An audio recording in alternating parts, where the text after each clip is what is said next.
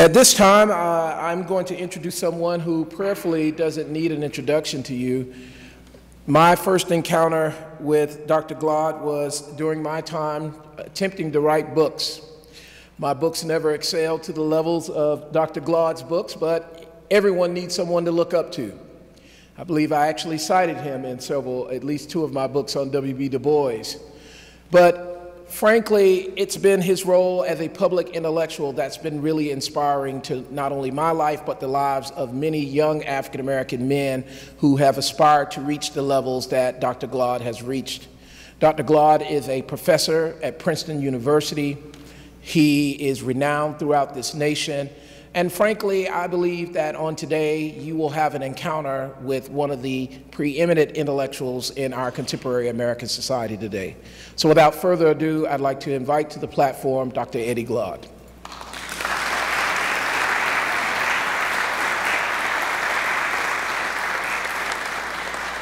How y'all doing this morning? I'm in Tuskegee. That was a beautiful, beautiful uh, rendition of I Waited for the Lord by uh, the University Golden Voices Concert Choir. Can we give them another round of applause? I can't help but mention that one of my closest partners, we have dinner once a month, is Peter Harvey. And I told Peter I was coming to Tuskegee, and he said, Boy, bring your, bring your A game. So I'm delighted. I wanted to lift up the Harvey family before I started. I want to thank uh, President Johnson for his visionary leadership. Uh, we are in a moment of transition in our country and particularly in our communities, and it's important that we recognize uh, young, courageous voices who have dared to step into the breach, uh, who haven't taken the bribe, who are still committed to service uh, in the face of tremendous headwinds. Yes? So I want to thank President Johnson for all that he is doing and will continue to do for Tuskegee and for black America all around the country.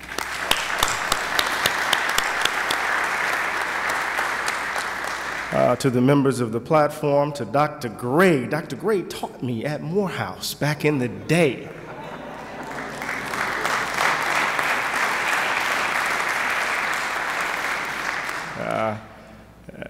What a time. What a time. but by the grace, no. Um, I want to thank the trustees, uh, particularly Trustee Anderson, uh, for uh, your commitment and to Tuskegee and your commitment to excellence. Uh, I want to thank the faculty uh, for all that you do. You're laboring in the vineyards. Um, you're on the front lines. Uh, I wouldn't be here if it wasn't for the likes of you. So I want to give you thanks and praise right now. So, and did Bishop McKenzie tear the house down last night, y'all? Oh my Lord. What does it mean to follow that? So I'm, I'm really thankful for the opportunity to be here with all of you in this hallowed place on this extraordinary morning to honor George Washington Carver. I'm especially humbled as a country boy from Mississippi whose mother dropped out of school in the ninth grade and toiled with her hands for a living, and whose father delivered mail in the blistering heat of Mississippi to make this moment right here possible for me to be at Tuskegee, as we say back home, this is high cotton. Now we gather today, and y'all gonna have to be patient with me because I'm gonna have to walk through something. Y'all all right? I'm not a preacher, I'm a professor, but I got a preacherly habits. Now we gather today against the backdrop of the ongoing tragedy of American life.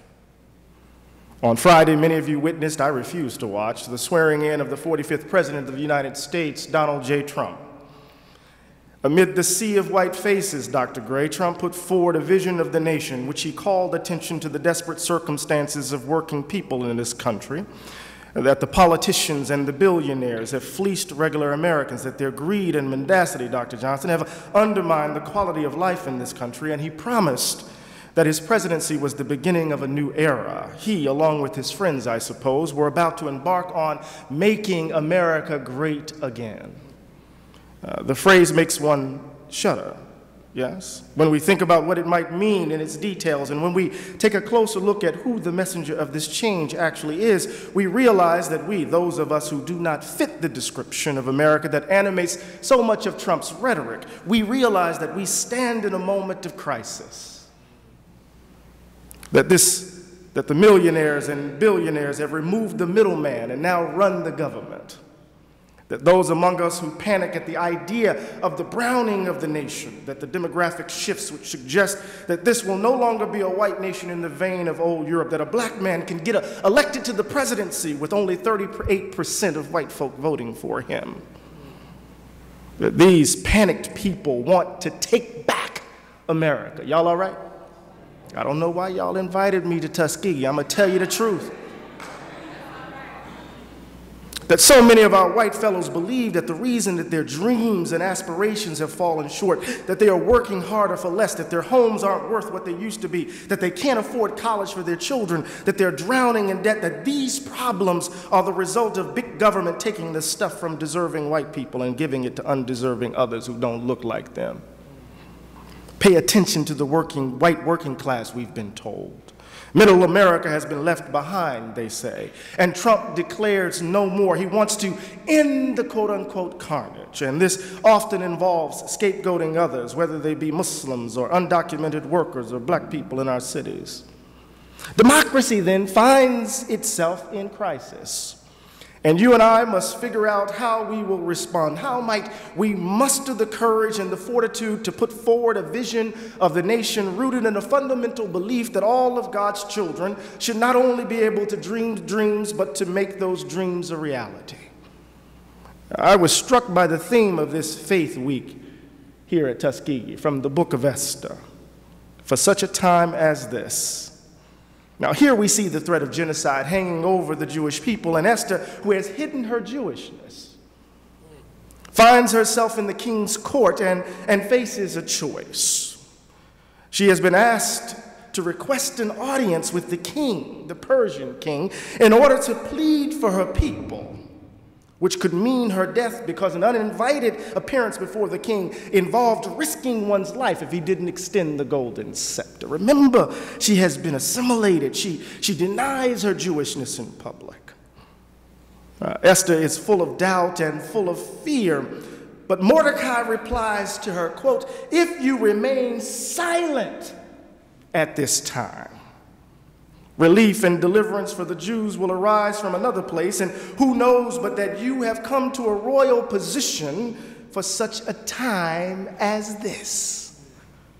That the bounty that is yours, the uniqueness of your position, situates you to speak to power, to advocate on behalf of the most vulnerable, and this requires that you risk it all. You hear me, President? For such a time as this. Here we are in this moment of crisis with the inauguration of Donald Trump, with American democracy in critical condition, and we are uniquely positioned to speak to power, to put forward a vision of the nation that runs counter to the mean spirited bile that we have heard and witnessed over the last year. And the question that we must answer this morning are we willing to risk it all? Or will you take the bribe of comfort and security? Amid unimaginable suffering in this world for such a time as this. Now, to my mind, this requires a fuller understanding of who we take ourselves to be. Remember, Sister Esther was grappling with her own sense of herself in the midst of the request, in the midst of looming genocide. So, this requires a fuller understanding of who we take ourselves to be, to break loose from stale visions of black selves and daring to self create in a world predicated on the belief that white people matter more than others. And this belief, to my mind at least, is at the heart of white supremacy. White supremacy is more than bad people in hooded robes burning crosses and screaming the N word all over the place. These people are easily condemnable. Y'all all right? I just want to check in on you. These people are easily condemnable. White supremacy instead involves the way a society organizes itself and what and whom it chooses to value. It determines where you live, which schools you attend, and what jobs are available to you, and reminds you daily of your status and station in life. And to my mind, this is white supremacy in a nutshell a set of practices informed by the fundamental belief that white people are valued more than others. This is what I call in democracy in black the value gap. Now, in no way do we live in a society like apartheid South Africa. That would be an example of the extreme. But we do live in a country where black people confront every day the damning reality that we are less valued. It is experienced in the very built environment of this nation, in our neighborhoods, where we go to school, and the places we work. The data is crystal clear. African Americans suffer twice the unemployment of whites. We lead the nation in rates of heart disease and HIV AIDS. African Americans make up nearly 1 million of the 2.4 million Americans in prison. When we think about the differences between whites and blacks in high school graduation rates, among those with college degrees, mortality rates, in access to health care, in levels of wealth, differences in salary with the same level of education, in the percentage of children in poverty, we can see Independent of individual acts of racism, white Americans, particularly those with money, matter more than others. And this reality was not fundamentally changed with the black man in the White House for eight years. Y'all all right? We reject the belief that white lives are, pre are presumed more valuable than black lives because it is the belief it is this belief, the view that animates so much of Trump's rhetoric, which limits our ability to reach for higher excellences. That language, I use it on purpose. Higher excellences for both black and white Americans. I use the language of excellences purposefully I want us to think for a moment about what I want to call black democratic perfectionism. Black democratic perfectionism. That is a radical cultivation of democratic individuality in the service of racial justice. You hear me, faculty? And my model for this is James Baldwin. I want to talk a little bit about James Baldwin this morning. In his essay, The Uses of the Blues, Baldwin clearly states what he takes to be the quote unquote Negro problem. Quote, I'm talking about what happens to you if, having barely escaped suicide or death or madness or yourself, you watch your children grow up, and no matter what you do, no matter what you do, you are powerless. You are really powerless against the force of the world that is out to tell your child that he has no right to be alive. Baldwin goes on to say, and no amount of liberal jargon and no amount of talk about how well and how far we have progressed does anything to soften or to point out any solution to this dilemma. In every generation, ever since Negroes have been here, every Negro mother and father has had to face that child and try to create in that child some way of surviving this particular world, some way to make the child who will be despised not despise himself. I don't know what the Negro problem means to white people, Baldwin writes, but this is what it means to Negroes, end quote. Here, Baldwin foregrounds the idea of white supremacy that the fact of growing up, of coming of age in a place that denies you standing, distorts one's sense of self and disfigures one's character. It arrests one's capacities, and in that light, it is with great effort and risk that one takes up the task of self creation in such a world. Baldwin insists on a sense of perspective, how the question of who we are gets handled, managed, and pursued under adverse conditions, that it matters. It matters if one bears the brunt of the police baton and if one does not, if one is a descendant of slaves or of slaveholders. Both may be inheritors of Ralph Waldo Emerson's call upon us, but the difference matters greatly, as Baldwin writes, to persuade black girls and boys, as we have for so many generations, that their lives are worth less than others and that they can live only on terms dictated to them by other people, by people who despise them, is worse than a crime. It is the sin against the Holy Ghost. End quote. This is, and it must be said, without concern for hurt feelings or guilt, right? It has to be said without worrying about the feelings of white people. Baldwin makes explicit the primal scene of instruction the primal scene of instruction. It is a context in which black people are seen as disposable. For those of you who don't know that reference, students, the primal scene of instruction, that's the great Harold Bloom. Write it down. This scene, in all of its messiness, cast in relief what Stanley Cavell calls Emersonian perfectionism. For Emerson, we have the task before us to ascend to higher forms of excellences. But this task isn't rooted in some fixed destination or some final place of perfection. The spiral stairs going upward, taking each step and leaving others behind. That final resting place for Emerson differs for each person. Life's journey consists of better and more excellent versions of who we take ourselves to be. Each experience of significance calls us to a higher sense of ourselves and requires the abandonment of old versions. As my colleague Jeffrey Stout puts it, he says, the higher self congeals out of the highest intimations of excellence you can intuit from where you stand.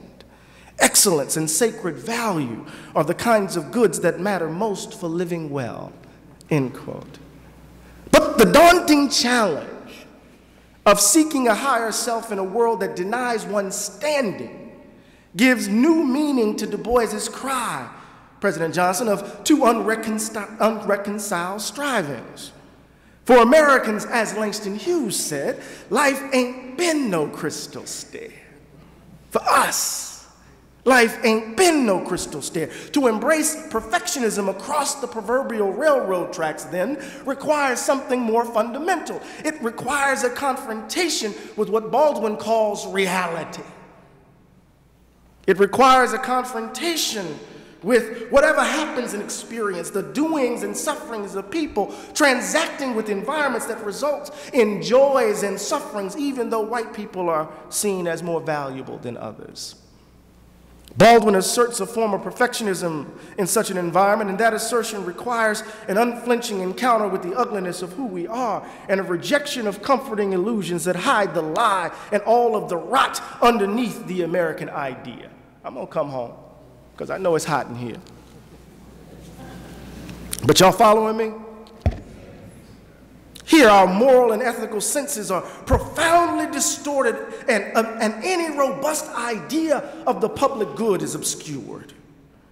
As Baldwin put it, what is most terrible, he writes, listen, what is most terrible is that American white men are not prepared to believe my version of the story, to believe that it happened.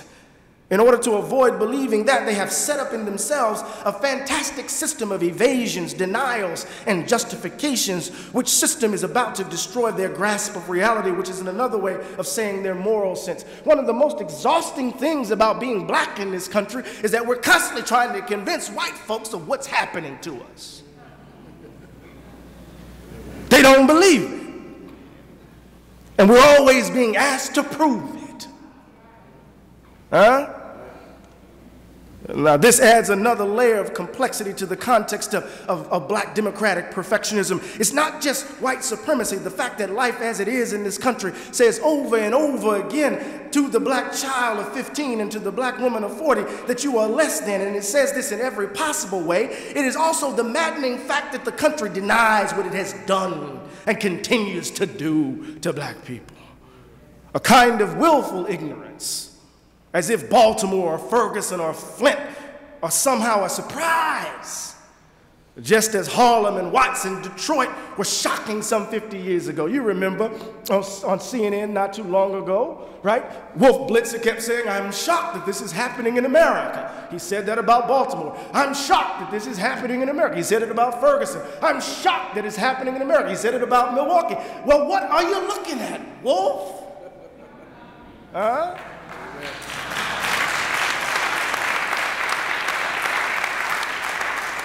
As James Baldwin and Jimmy said in The Fire Next Time, the innocence is the crime.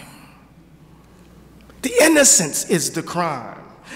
And it corroborates that innocence, what he mercilessly described as the monstrous quality of this place.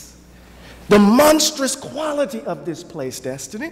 There is, listen at this quote, there is something monstrous about never having been hurt and never having been made to bleed, never having lost anything, never having gained anything because life is beautiful for you. And in order to keep it beautiful, you're going to stay just the way you are. And you're not going to test your theory against all the possibilities outside. America is like that, Baldwin says. The failure on our part to accept the reality of pain, to accept the reality of anguish, of ambiguity, of death has turned us into a very peculiar and sometimes monstrous people. End quote. Uh, the reality of white supremacy and its repeated evasion or outright denial makes the idea of abandoning old versions of ourselves damn near impossible. Instead, we find the eternal recurrence of the like of Donald Trump. Baldwin says that America is like a monstrous minstrel show a monotonous minstrel show, the same old songs, the same old jokes, the same old dances. We've seen the show or been the show for so long we could do it in our sleep.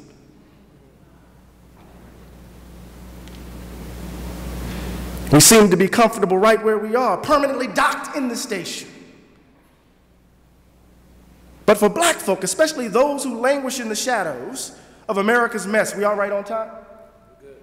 Y'all let me know. Pull my coat because it's hot in here.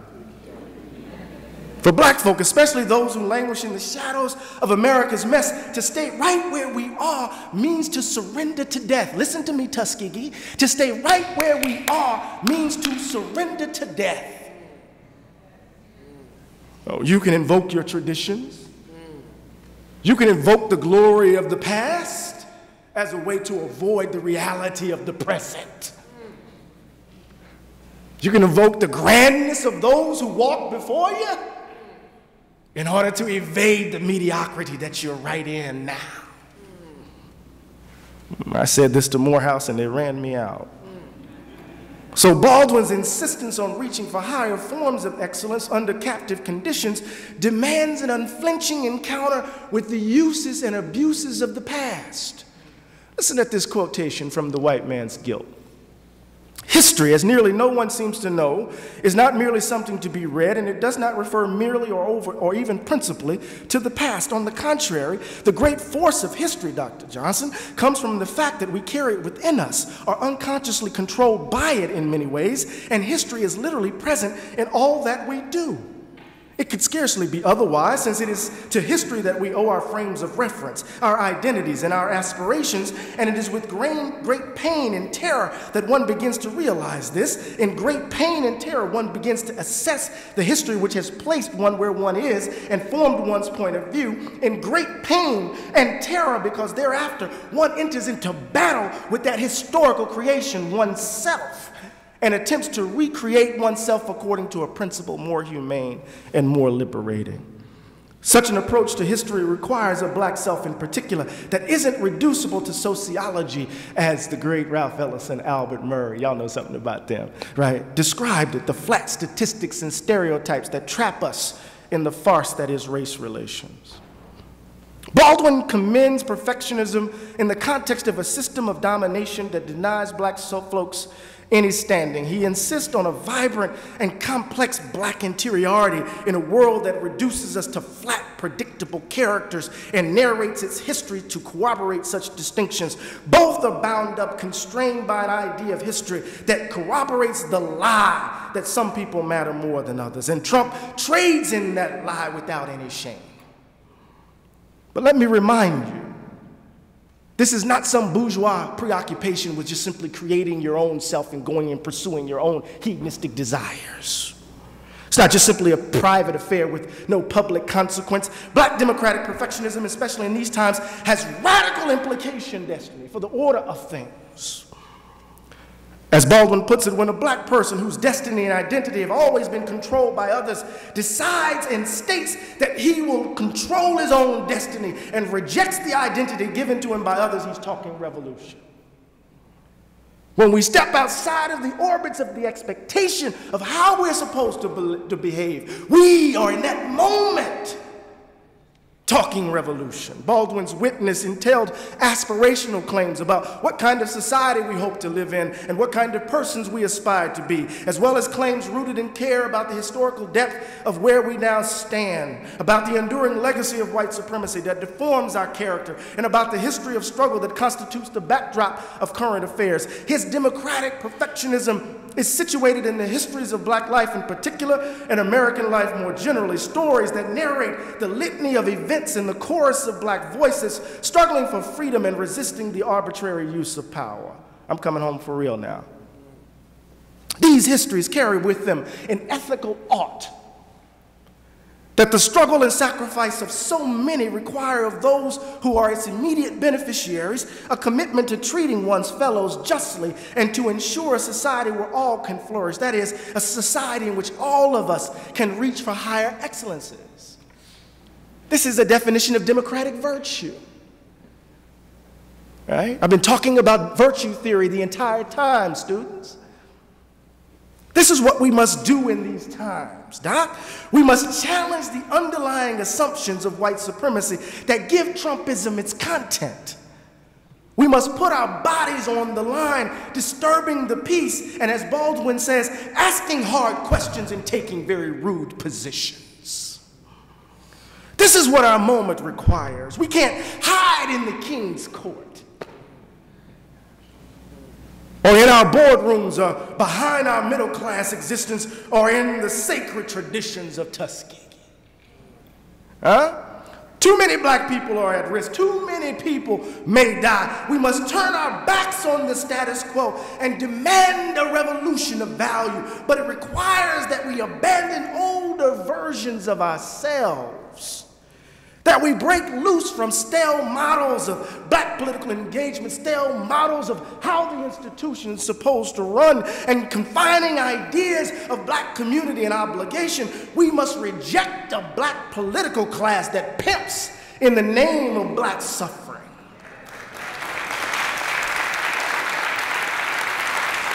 You hear me, Mayor Haygood? We got to reject that black political class that makes its living, lines its pockets on the backs of our suffering.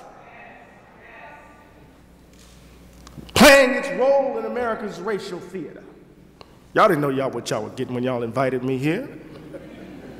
We must dare to break free with all of the complications that daring and risk entail. Assert the uniqueness and distinctiveness of our own voices in the age of Trump. And shout out with Melville's Bartleby the Scrivener, I would prefer not.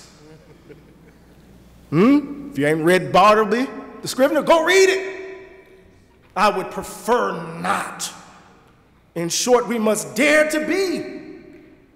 And that, if I understand Baldwin correctly, destiny is a revolutionary act in this country for black folk to step out of the assumptions, to resist the flat characterizations, to stop dancing, to not be afraid, to tell the truth about our suffering, and to hold everybody accountable, no matter what the color of your skin may be, to stand on a tradition in which justice is at the center. Y'all following me? I'm getting upset up in here on a Sunday morning. As Baldwin put it in 1959 in a piece titled A Word from Writer Directly to Reader.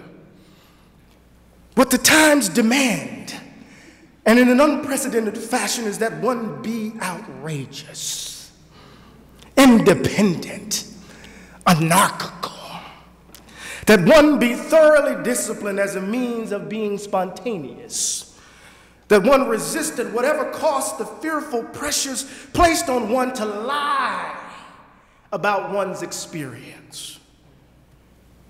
We must enact this formulation, President Johnson, courageously, and to take the phrase from Henry James to enact this formulation at the pitch of passion. And if you don't, if you don't decide to take, if you decide to take the bribe, if you decide to take the bribe, young Tuskegeans, if you decide to seek comfort and security in your BMW, if you decide to take comfort and security in bourgeois aspirations for a nice house on the hill amid all the death and suffering that is circling around you, if you decide to sell your souls for a mess of pottage and turn your back on all of those who made us possible, all of those who made this moment right now, right here possible, then with Mordecai and what he said to Esther, not before for such a time as this. He said, What? He said, If you remain silent at this time, relief and deliverance will arise from another place, and we will move on you. God is on our side. Because God is on the side of justice, He's on the side of right, He's on the side of His creation. Uh, we will fight for a more just world, and you have to decide for such a time as this. Where will you stand? Amen. Amen.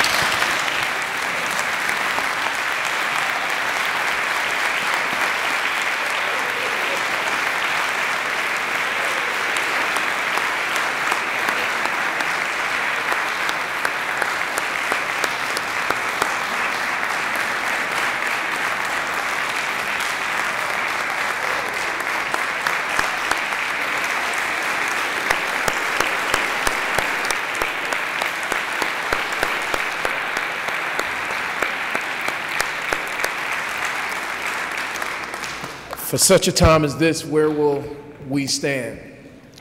We know where Tuskegee University has stood, but clearly the clarion call is right now, for such a time as this, where will we stand?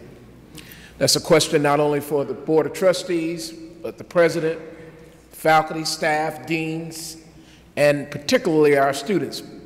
Because I assure you that if I don't do it and we don't do it as adults, they certainly will.